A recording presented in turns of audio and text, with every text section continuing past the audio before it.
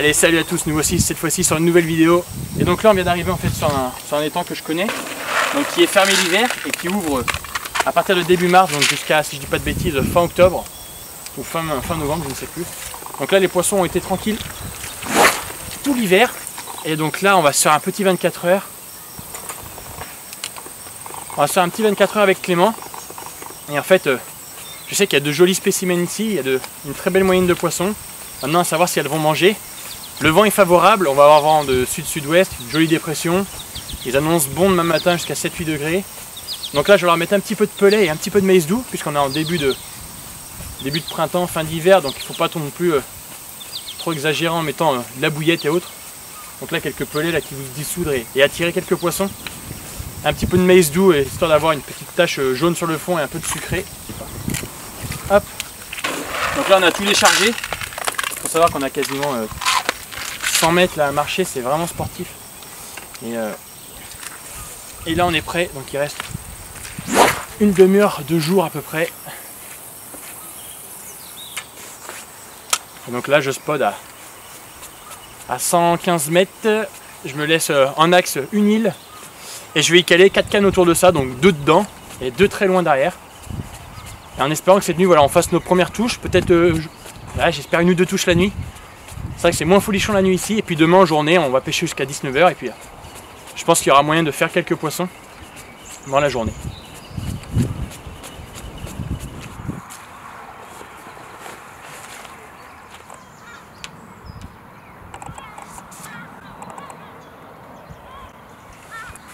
Bon, et bien on va attaquer la pêche de nuit. Donc là, euh, j'ai peu d'espérance de faire du poisson ce soir. Mais du coup, je vais quand même mettre euh, deux cannes avec des wafters. Donc c'est des wafters euh, Squid, and, euh, Squid and Space là.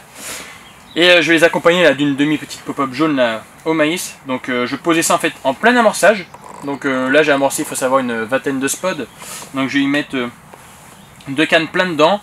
J'ai peu d'espérance, je sais qu'ici ça fonctionne pas trop bien de pêcher sur les amorces, mais bon là on est début de saison, pour le peu qu'elles aient un petit peu faim. J'ai mis un petit peu de pelé, un petit peu de maïs doux, donc en fait cette petite tache jaune peut rappeler en fait le maïs doux, sachant qu'elle a quasiment la même odeur. Et donc euh, ensuite je vais mettre deux cannes euh, environ 30-40 mètres derrière, donc cette amorce qui est, à 120. Et demain en journée, donc je sais que ça ne marchera pas du tout dans l'amorce, donc demain en journée on aura 4 cannes, d'environ 10 derrière, jusqu'à 30-40 aussi. Mais voilà pour la nuit, si on pouvait trouver une petite carpouille là qui venait, euh, qui viendrait du coup s'alimenter, ça serait sympa. Donc voilà, ça c'est un appât qui va pêcher toute la nuit, donc je vais être très confiant.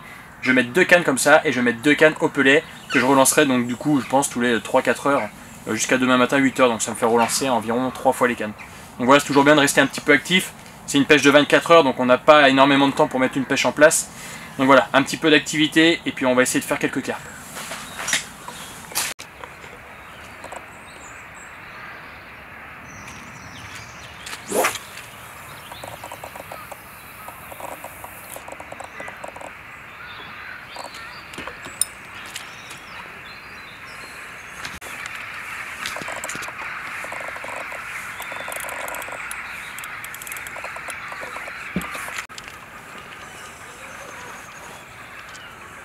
Comment ça se fait que j'ai une moulinée autant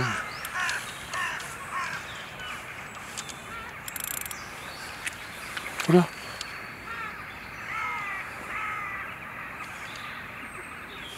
Voilà, il y a un problème. J'ai un problème avec ma canne. J'étais en train de mettre le swinger et je venais tout juste de, de placer en pleine amorce et je crois que j'ai déjà une brème.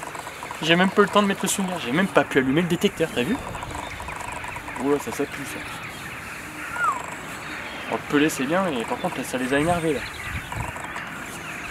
Comme vous pouvez le voir, là j'ai même pas. Je viens juste de caler ma première canne. J'étais en train de mettre le swinger de celle-là et en fait le swinger descendait. J'ai dit c'est bizarre. Ça n'a pas mis long. Je vais changer la part. J'avais mis un, un petit dumble maïs là. Je vais changer ça. Je l'avais boosté. Là je vais surtout pas les booster. Ah, c'est une grosse blague. Bon, je sais pas si vous voyez la taille de la brème, elle est énorme cette brème. Et elle a déjà mordu, incroyable, elle a pas mis long. Elle a même pas mis, je pense que ça a clippé, elle a mordu. regardez la ponce qu'elle a. Grosse brème, allez file. Et m'embête pas cette nuit. je vais changer l'hameçon aussi. Bon, la boîte est vide, ça pue. Enfin, je me prépare quelques montages. hein. Et là j'ai un montage. Parfait ça. Il y a un gros pelé dessus. On va enlever ça.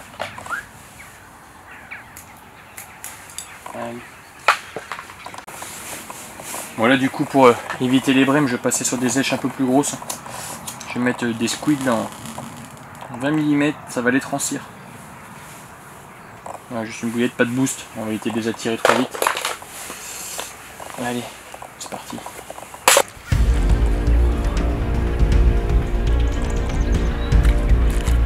What?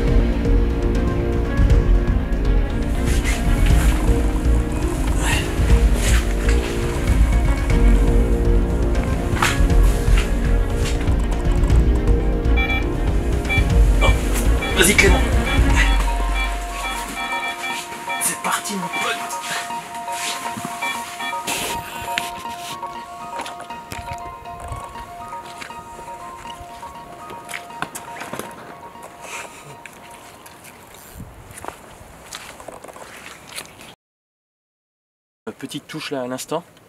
Je vous avoue que j'étais pas prêt, là j'étais dans le lit euh, tranquillement, j'allais m'endormir. Et petite touche, et c'est revenu assez vite sur le bord. J'ai même cru une brème. Et là ça devient assez lourd donc. euh, je sais pas vraiment ce que je tiens, j'ai même cru que c'était une laisse au début. Vous savez, c'est un poisson qui a, qui a déjà une ligne et qui en fait se prend dans la nôtre. J'ai l'impression que c'est un esturgeon. Qu'est-ce que c'est que ça putain, j'ai pas pu voir. J'ai pas l'impression que ce soit une carte. Ah c'est une carte. Carte libre. Allez.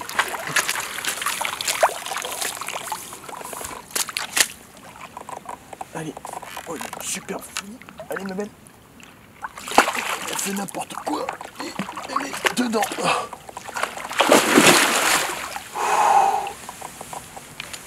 Yes.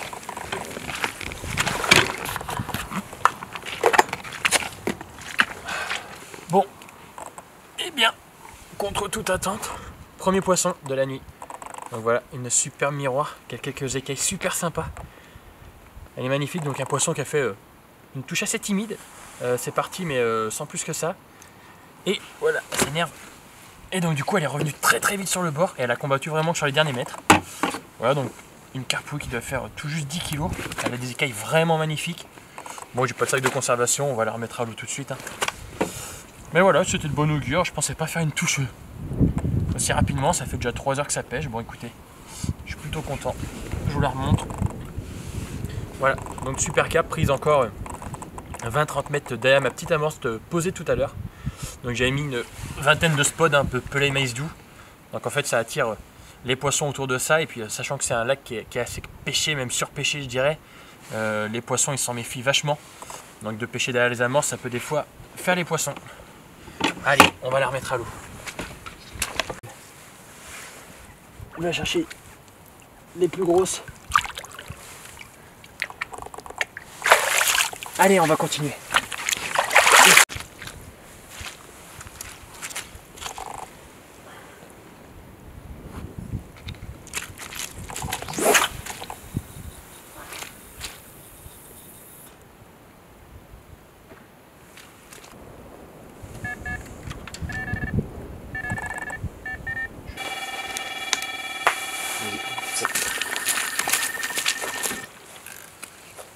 Il y a encore cette canne là qui avait. un- Ça frotte sur le fond, je sais pas ce que j'ai.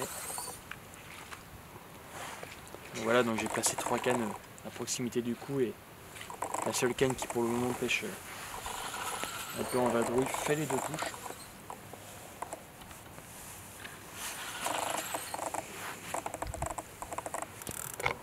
Voilà.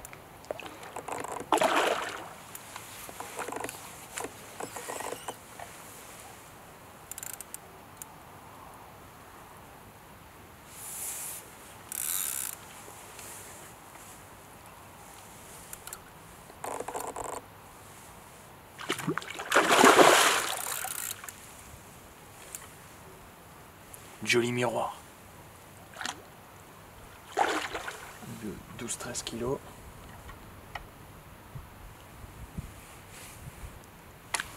Oula.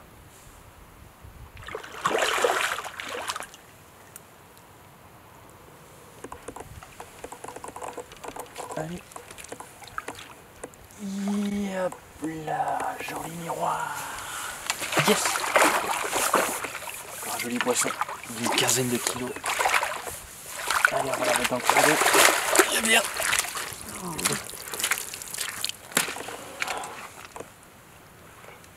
Magnifique poisson.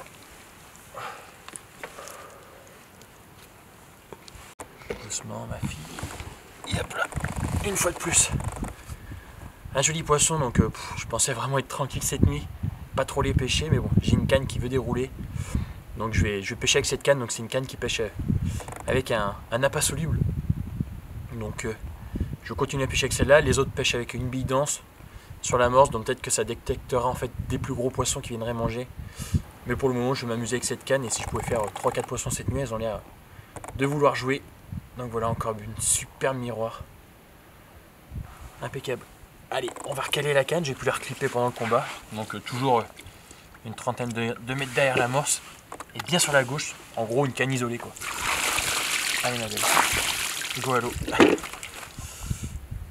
Allez ma belle. Désolé, j'ai pas de sac. Nickel.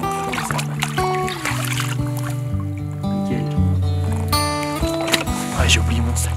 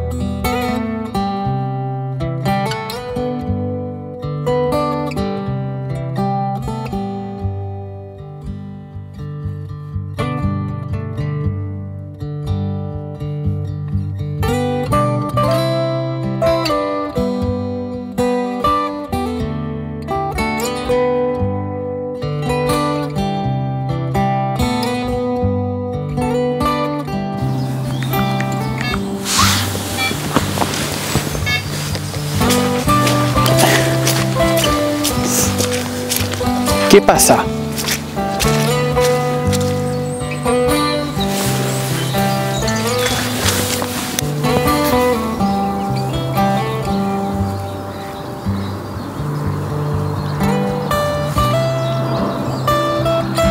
자율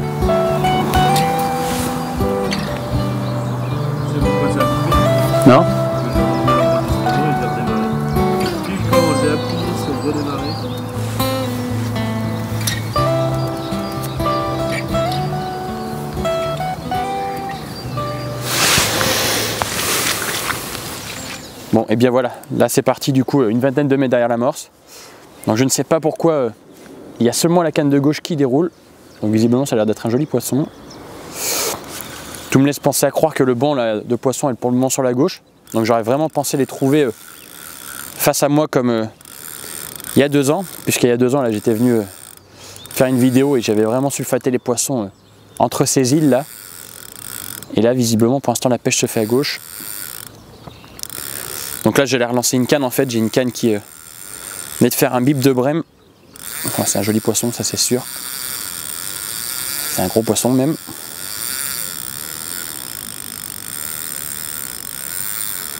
Pas contente. D'ailleurs, j'ai une touche canne de droite. J'ai mon swinger qui vient de descendre.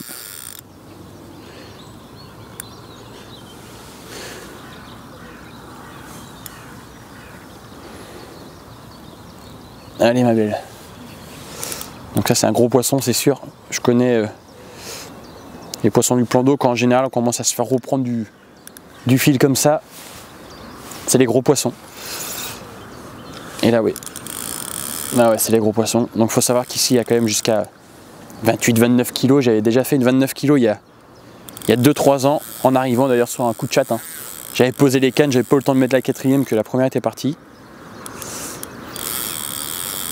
Et là c'est un très gros poisson, c'est sûr et certain. On a un bœuf. Donc là je suis encore à plus de 140 mètres. Donc le poisson n'est pas ramené. Non.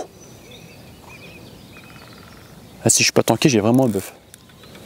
Ah, je suis pas tanké, putain. Ah c'est une grosse. Regarde les coups de tête.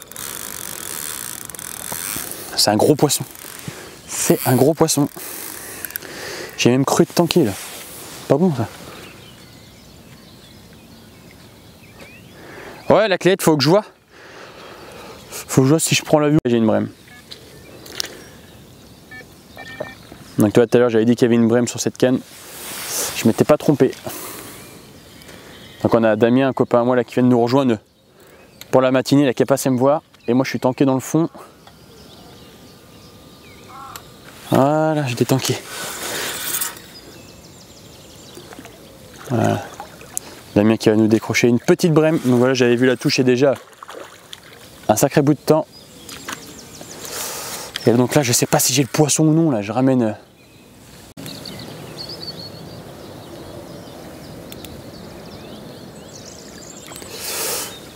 C'est pas si gros, c'est une commune, mais par contre, comment c'est que ce soit aussi lourd? Alors, le poisson qui est. Je pensais vraiment un plus gros poisson que ça. C'est pas grave, ça fait un joli poisson quand même. Ouais, une jolie commune. Allez, viens là, ma belle. Je suis plus habitué au poisson. Putain, me paraît lourd. Même l'impression qu'elle est prise dans une autre ligne, mais non. Commune qui est très très longue. Ah, si, regarde. Elle a un autre montage. euh,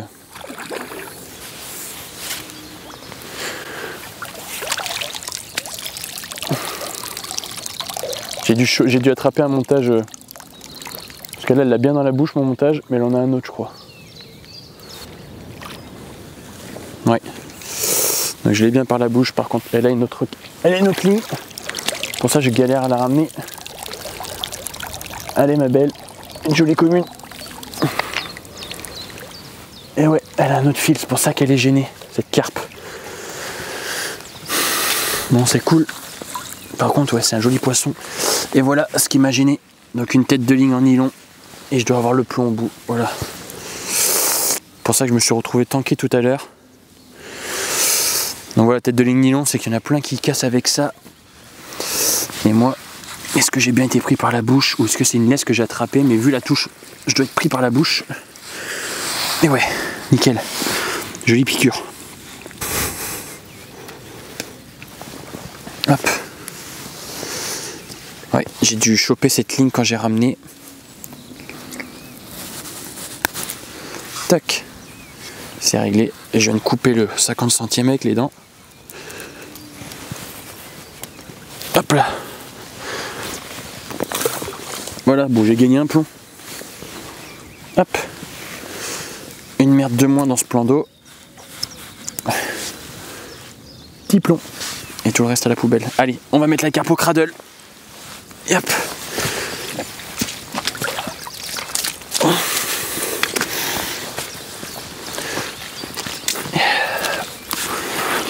Une jolie commune, c'est pour ça qu'elle a fait un joli rush. Tac. Bon. Et bien la voilà, la jolie commune. Donc un poisson qui doit faire dans les 12 kilos. Superbe commune, hein. c'est pour ça que j'ai galéré à la ramener. J'ai cru que c'était un plus gros poisson que ça. C'est pas grave, je suis pas déçu, c'est quand même un joli poisson. Elle a une bouche incroyable. Franchement très content. Et puis bon voilà, j'ai pu enlever une tête de ligne qui était dans l'eau. Donc en fait la tête de ligne n'était pas accrochée à la carpe puisqu'il n'y avait pas l'hameçon en fait. Il y avait vraiment que le plomb et la tête de ligne. Donc c'est là où je me suis accroché tout à l'heure. Mais voilà, super carpe commune. On va pouvoir la remettre à l'eau et jolie carpe. Allez ma grosse. Hop là. Allez ma belle, j'ai pas de sac. Je vais te reposer au bord. Yeah. Doucement.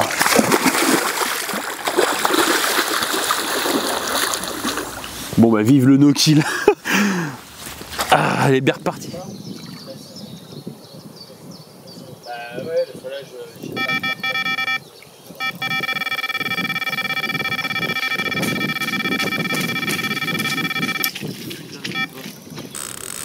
Bon c'est taré.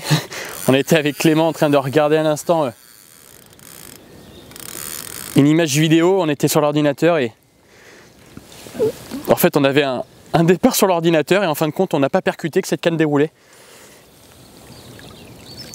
Encore sur la gauche, donc ça fait à peine euh, 10 minutes que j'ai recalé la canne, donc là le banc de poisson est vraiment sur la gauche, c'est taré. Bon du coup là ça va me donner une idée. Je vais orienter du coup euh, toutes mes cannes en pêchant légèrement sur la gauche, donc pas non plus euh, de quoi saturer le spot là-bas, mais je vais au moins caler deux cannes sur cette canne. Et ma canne la plus à droite, je vais essayer de la rapprocher nichette. Oh là là là là là ça me déroule tout. Ça me déroule tout, putain. Allez doucement, ma belle. Ah, elles ont vraiment le sang. Je vais décaler ensuite mes cannes. Là, ça fait même pas 10 minutes que j'ai remis la canne. Donc là, je suis en périphérie d'amorçage sur la gauche, à 15 mètres derrière.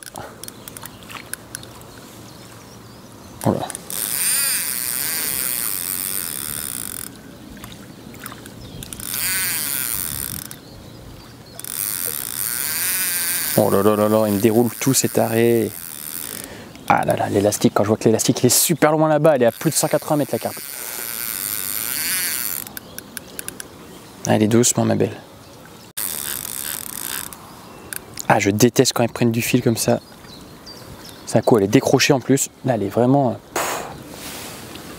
Oh là là, elle est tout au fond là-bas.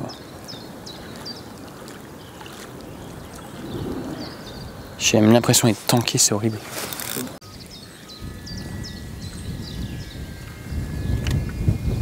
Oh, je sens même pas. Je le ramène, je sens même pas le poisson. Tellement ça frotte. J'ai l'impression que j'ai plus la carpe. Je sens plus le poisson, je sens juste que je frotte contre un truc de taré. Oh là là, c'est taré, putain.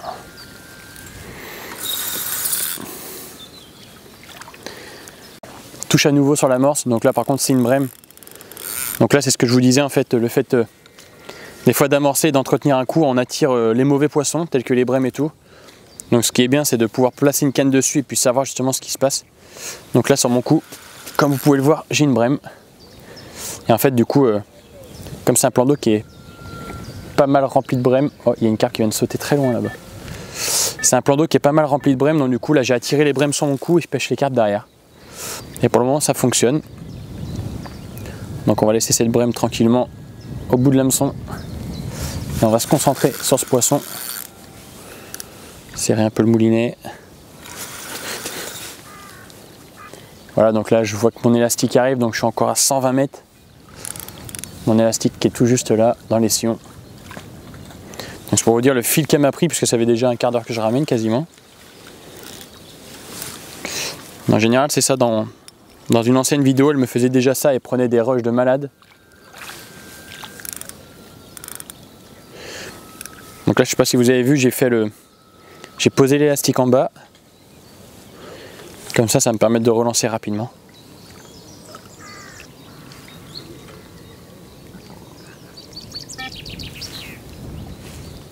La brème est toujours au bout.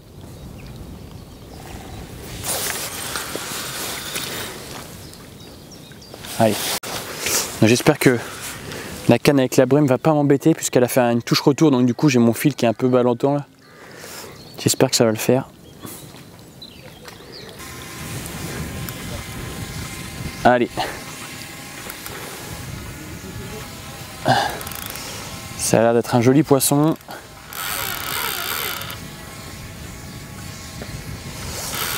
Ouais, on peut l'apercevoir là.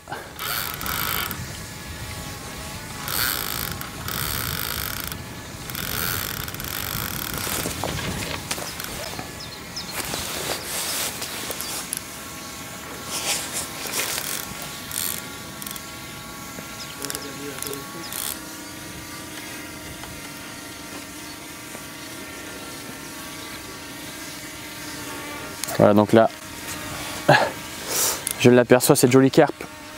Elle a l'air d'être prise dans, un autre fil. Alors est-ce que c'est ma canne ou j'ai la brème? Oh la vache, a une branlée là.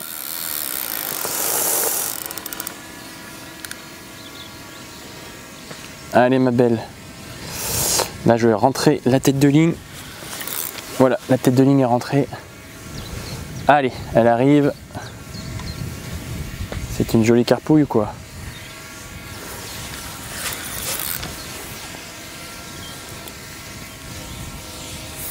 Voilà, elle a une jolie miroir. Alors pas énorme, mais c'est un poisson. Allez, on va pouvoir l'épuiser. Elle a le, le feu. Joli poisson. Allez, viens là, ma belle. Ouais, une jolie carpe qui est dans la moyenne. hein. Dans la moyenne des 10-12 kilos. Parfait. Allez, viens là, ma belle. C'est bon, on va t'épuiser. Allez. Je me prends quand même un chabalet. Elle est mignonne. Allez, allez, tourne la tête pas comme il le faut. Allez, ma belle. Nouvel essai. Et c'est dedans. Yes Une jolie. Ah bah voilà. Poisson de 14-15 kilos. Elle est parfaite. Allez. Oh oui, elle est belle. Allez. Poisson de, je dirais, quasiment un peu plus de 15 kilos, 15-16 kilos. Superbe miroir. Elle est vraiment incroyable cette carpe. Donc voilà, ça monte, euh, ça monte en gamme, ça monte en poids. Bon, c'est un, banc de jolis poissons dans lequel je pêche actuellement. C'est vraiment cool, mais cette carpe, elle est vraiment incroyable. Elle est monstrueuse, elle est super lourde. Elles sont vraiment, je sais pas ce qu'elles ont, elles ont du plomb à l'intérieur, c'est pas possible, mais elle est courte, mais elle est trapue. Pouah. Superbe carpe, donc euh, pris à nouveau sur euh, un pellet avec un, une petite éche maïs sur le dessus. Donc voilà, petite euh, pop-up euh, goût maïs. Vraiment jolie carpe. Bon allez, j'ai reposé déjà la canne puisqu'il faut savoir qu'en fait à peine épuisé, euh, les montages sont prêts prêts à retourner à l'eau. Donc là la canne est déjà replacée, je vais aller m'occuper de la brème à présent. On va pouvoir remettre cette jolie carpe dans l'eau. Hop. Voilà, Ah, elle est vraiment magnifique. Allez ma belle, on y va. Allez ma belle. Superbe carpe.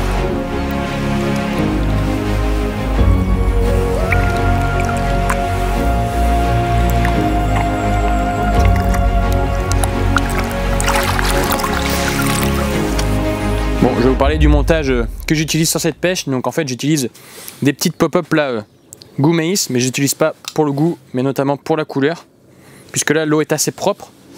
Et euh, sachant que j'ai amorcé quelques grains de maïs et que les carpes, on a naturellement euh, aiment le maïs doux, tout ça, tout ce qui est euh, un peu de cette famille-là. Donc j'utilise donc cette petite tache jaune sur un pelet. Donc lui, le pelet en fait va venir à apporter le, côté attractif puisqu'il va se dissoudre. Et en fait, sur cette, sur cette attractivité-là, on aura cette petite tache jaune. Donc les carpes, euh, ils viendront facilement. Et là, pour le moment, ça fait le taf puisque ça fait 4 poissons avec ce genre de montage. Voilà ce que ça donne. Donc en fait, euh, la popo va venir apporter en fait un côté un peu équilibré et plus léger de lèche. C'est-à-dire que quand les carpes vont, aspirer, en fait, euh, naturellement, elles aspirent des, des ailes qui sont assez légères, plein de nutriments et tout. Alors, euh, les écrevisses et tout, bien sûr, c'est un peu plus lourd, hein. il n'y a pas de doute là-dessus.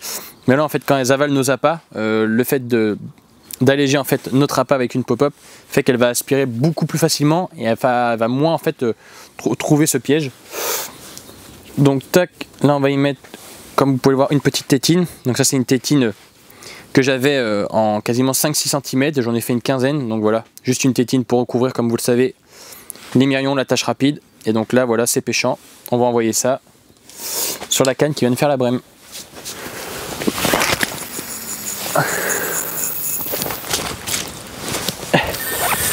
Elle belle produit mon pote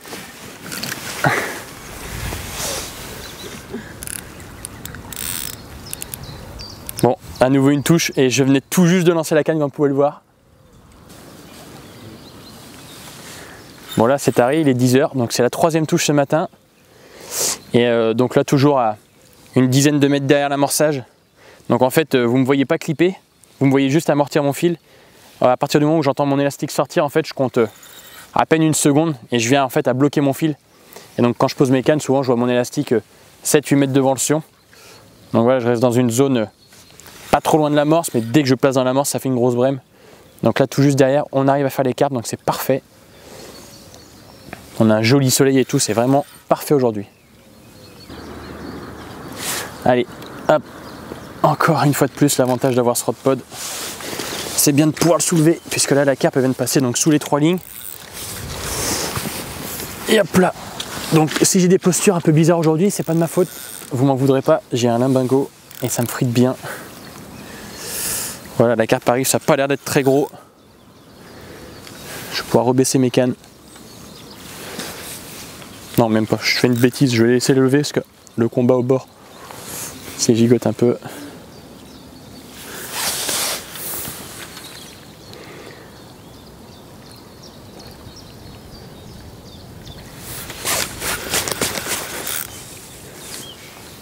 Allez, elle va arriver, j'ai la tête de Link qui est là.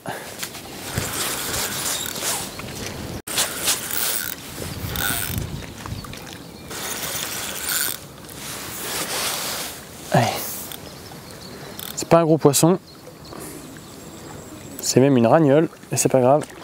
Ah non. Bon, est pas si moche que ça. Oh, décroché. Regardez.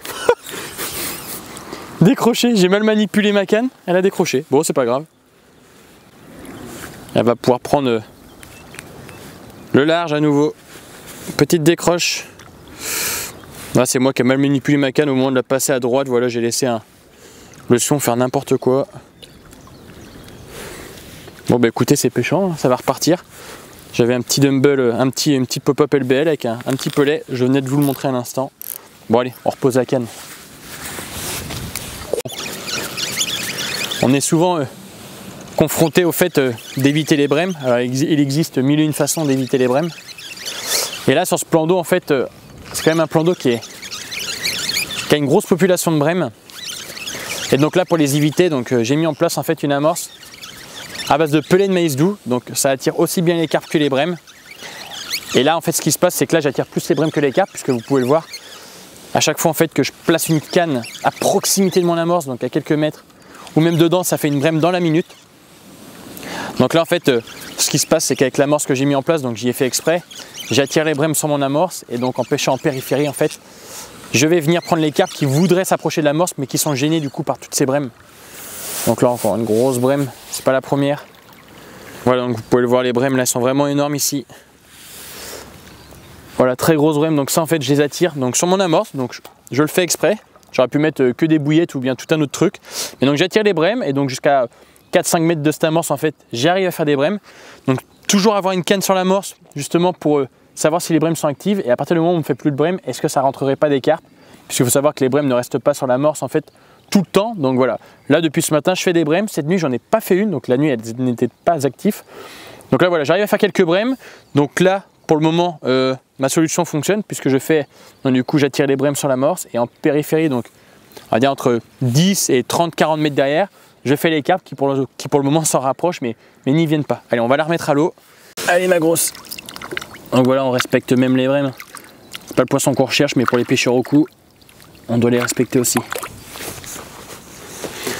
Donc ça, c'est une canne qui reste en fait euh, toujours à proximité de mon amorce, donc avec euh, le même, euh, la même èche que mes autres cannes. Donc elle reste à proximité, c'est-à-dire 3-4 mètres hein, de l'amorce, grand max. Je la mets pas dedans puisque tout à l'heure ça a quand même pas mis longtemps, ça a mis à peine une minute pour faire une brème. Et donc à partir du moment où je ferai plus de brème, je pourrais peut-être me dire que quelques carpes arrivent et si jamais une carpe venait, est-ce qu'elle serait pas plus grosse que les autres? Puisqu'on sait que les gros poissons viennent se nourrir sur les amorces en début de saison. Allez, on va y recaler la canne et au moment que l'élastique va sortir, je vais pouvoir arrêter mon montage. Hop là. Donc là, l'élastique, il est au bout du sion. Parfait. Donc là, je suis, on va dire, 3 mètres derrière la morse. Et ça devrait pas traîner à refaire une brème. Mais c'est pas grave. C'est le but de cette canne. D'aller titiller quelques brèmes. Parfait.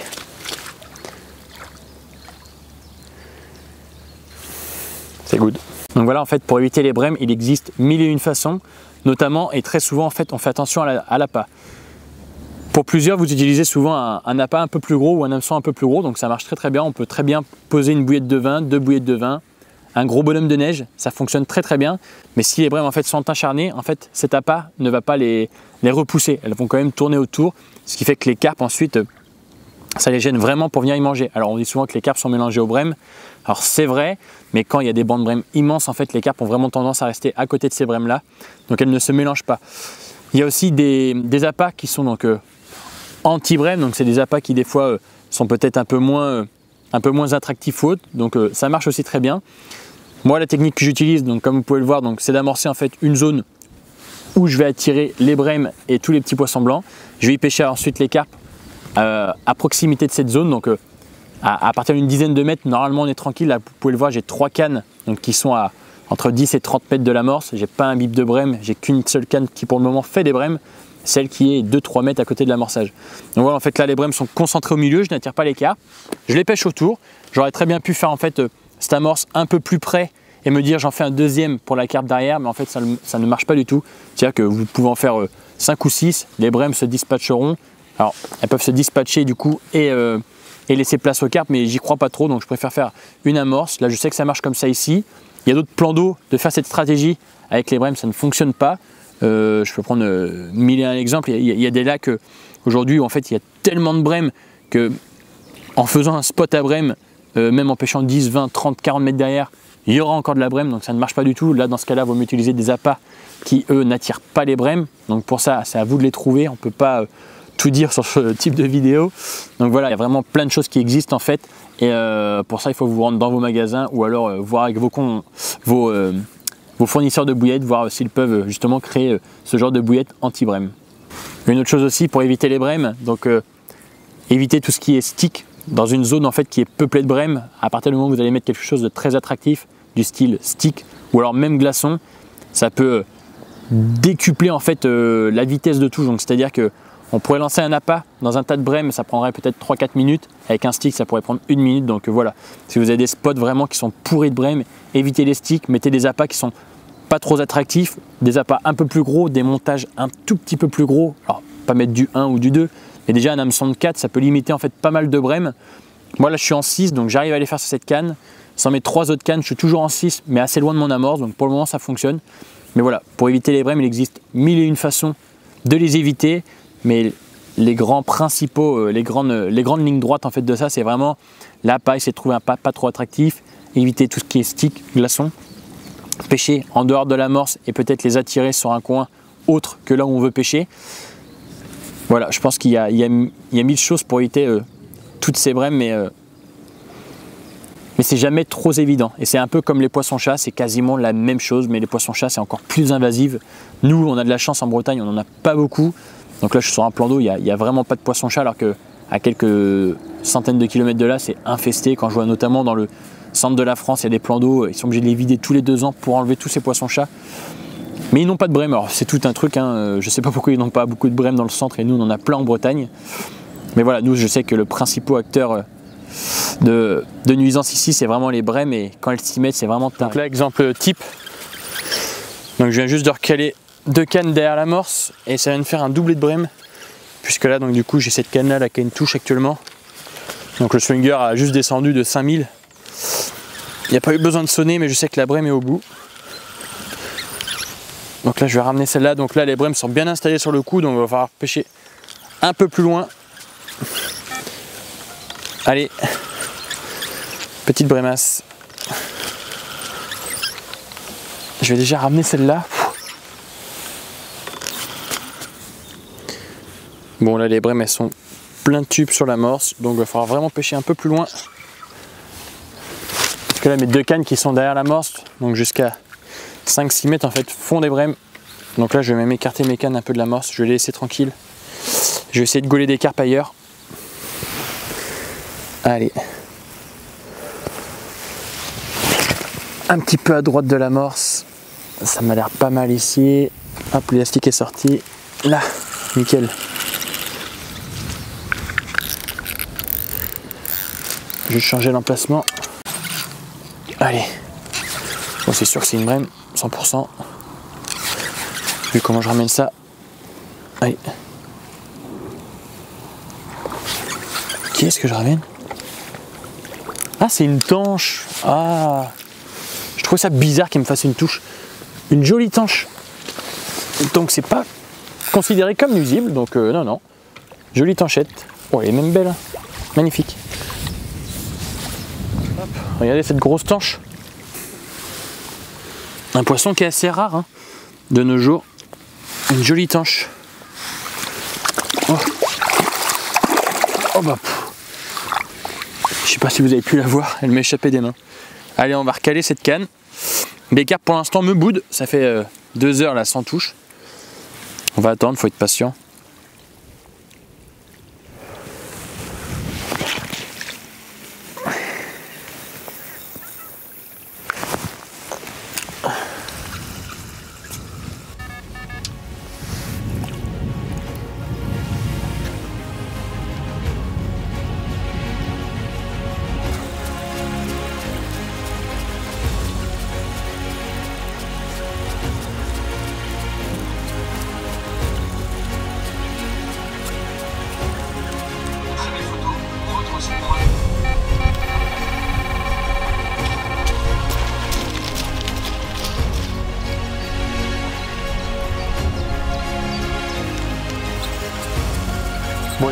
Encore à nouveau la canne de gauche, donc voilà, ça faisait déjà quasiment un peu plus de 3 heures qu'on n'avait pas fait de touche. C'était un peu long. Et donc la petite touche, euh, c'est parti plein tube, ça n'a pas l'air très gros. Ça revient assez facilement, mais bon. Là, je sais que c'est une cape puisque c'est parti euh, en fait euh, bien sur ma gauche là. Décidément, cette canne de gauche fait des touches, donc il y a vraiment un, un joli banc de poisson là qui est sur la gauche. Donc j'y ai pas mis depuis ce matin deux cannes, je vais en mettre une deuxième et puis on va essayer de refaire des touches comme ça.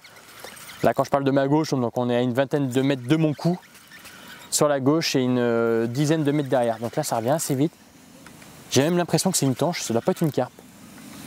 Ça me paraît assez lourd mais c'est taré, ça revient plein tube. Si c'est une brème ou une tanche, c'est vraiment un gros poisson. Ah une grosse tanche encore. C'est taré ça de faire des tanches comme ça là. J'ai trop cru une carpe. Bon regardez ça. Pour le paquebot.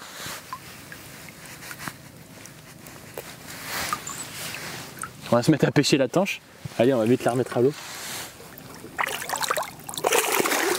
Allez, sympa. Ah, j'ai encore cru une touche de carpe, c'est pas vrai. hein. Les carpes, elles ont vraiment déserté la zone.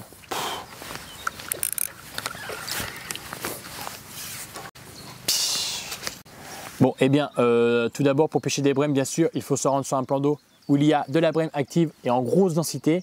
Donc, ce que je vais vous donner comme conseil, c'est vraiment pour ces plans d'eau-là, les plans d'eau qui sont euh, très peuplés de brèmes, ou bien alors qu'il n'y a que des carpes, bien sûr, ce n'est pas à en prendre en compte. Première chose, évitez de pêcher avec des éches trop petites et des hameçons trop petits, puisque les brèmes sont très friands de toutes ces petites choses. Donc si vous pêchez avec des petites éches et des petits hameçons, forcément ça ne vous aidera pas à éviter les brèmes. Deuxième chose, évitez donc les éches trop attractives, ça ne vous aidera pas à éviter les brèmes. Donc évitez tout ce qui est pelé, bouillette soluble, toute cette petite machine là, euh, toutes ces petites éches en fait euh, ne sont vraiment pas bons pour éviter les brèmes. Troisième chose, évitez de mettre des sticks et des glaçons, puisque même avoir une neige en fait qui est peu attractive, telle qu'un un maïs plastique ou bien alors euh, euh, une bouillette très dense et non attractive, si vous y ajoutez en fait un glaçon ou un stick, ça viendra donner de l'attractivité à votre èche et donc les brèmes se jetteront dessus sans hésiter. Quatrième chose, pour trouver le bon brème qui est sur votre amorce en fait, il va falloir pêcher en escalier, c'est-à-dire qu'on va pêcher dans l'amorce 5, 10, 15, 20 mètres derrière et à un moment en fait vous trouverez une limite où vous ne ferez plus de brème. Donc très régulièrement, de dans l'amorce à 3-4 mètres derrière, on trouvera les brèmes donc qui seront autour de cette amorce à grignoter. Et à partir, ça dépend des plans d'eau bien sûr, à partir de au-delà de 5 mètres, donc 10, 15, 20 mètres, selon la quantité de brèmes bien sûr dans votre plan d'eau, euh, on devrait être plus tranquille et trouver quelques carpes. Donc dernière chose, pour résumer tout ça, le mieux pour vous, si vous avez un étang qui est peuplé de brèmes, créez votre amorce, évitez donc les appâts solubles ou hautes en créant cette amorce. Si vous n'avez pas le choix de pêcher avec du pelé et autres pour des questions économiques, il n'y a pas de souci, pêchez avec du pelé en amorçage, du maïs doux, ce que vous avez. Pêchez dans ce cas-là assez loin de votre amorce, mais toujours y laisser une canne en plein dedans parce que les brèmes ne mangent pas toute la journée. Il faut savoir qu'à un moment donné, les carpes prennent le dessus, sortent les brèmes, les brèmes sont gavées, et quand les carpes arrivent, en fait, il va falloir le savoir, et pour ça, il va falloir laisser une canne en pleine amorce. Cette canne-là, c'est chiant, elle va faire des bips, elle va faire des brèmes, mais quand il n'y aura plus de bips, plus de brèmes, ça laissera peut-être place à de gros poissons qui viendront manger. Bon allez, on va relancer les cannes. J'ai pour environ 10 minutes à relancer ça, il restera à peu près une heure et demie de pêche. Donc voilà, je sais que mes éches elles vont aller jusqu'au bout, donc là on attendra vraiment la touche. Je vais caler mes cannes donc euh, derrière la mort, je vais en mettre une dedans au cas où une carpe y passerait. J'espère vraiment que sur cette fin de journée là, ça va péter une carpe bordel. Ça a bien fonctionné hier soir début de nuit, après la nuit j'ai pas trop pêché en me disant que ce matin j'allais pêcher. Ce matin j'ai pêché, ça a bien fonctionné pendant une heure, enfin de- pendant deux heures. Ça fait trois touches, bon c'était plutôt correct. Et là depuis cette décroche vraiment, oh le néant quoi. Pourtant il y en a des carpes, elles sont là mais cette réserve en face elle est tellement grande que si on les énerve un peu, si ça les saoule d'être là et d'être euh, sous les plombs, elles vont tranquillement là-bas. En plus il fait grand soleil donc ça aide vraiment pas pour la pêche. Il a fallu qu'il pleuve un peu mais bon. On va pas se plaindre des conditions. Allez.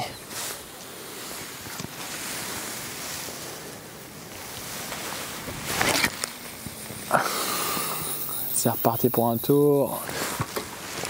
Là-bas, elle est calée.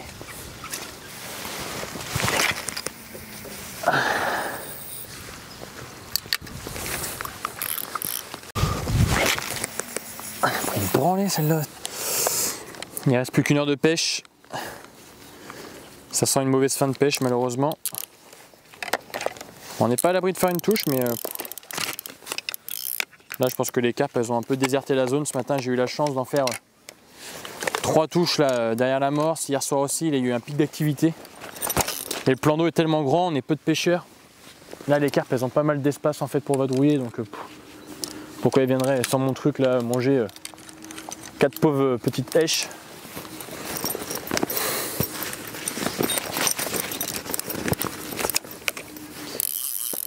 Allez.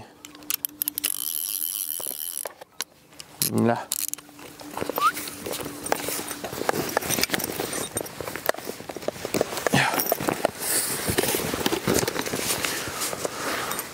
C'est bien de pêcher de journée, mais putain, quand je vois tout ce qu'il faut plier pour une journée, ça me transcende.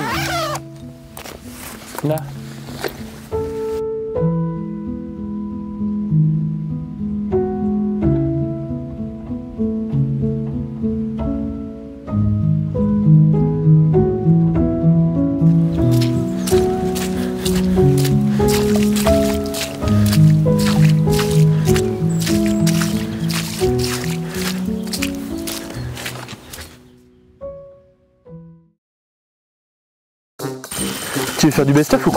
Du best-of, mon pote. Putain, ceux qui me disent que la pêche c'est pas du sport, c'est vraiment ils vont tuer.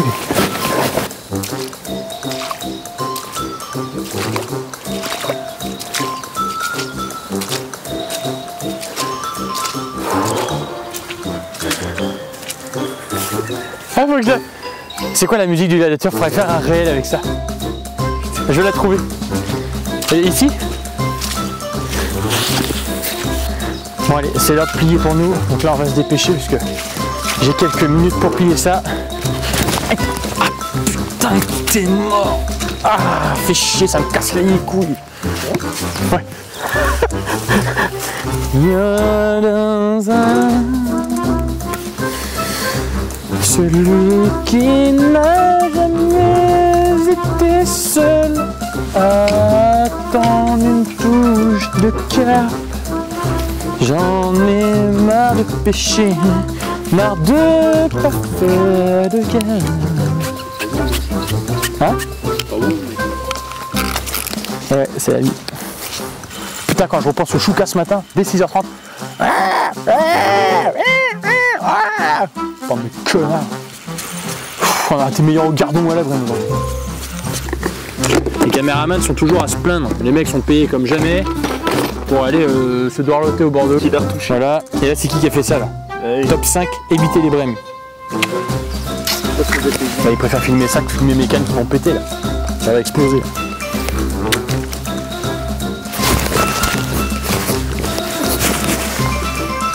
Et après il va dire, ouais, Clément, tu rigoles.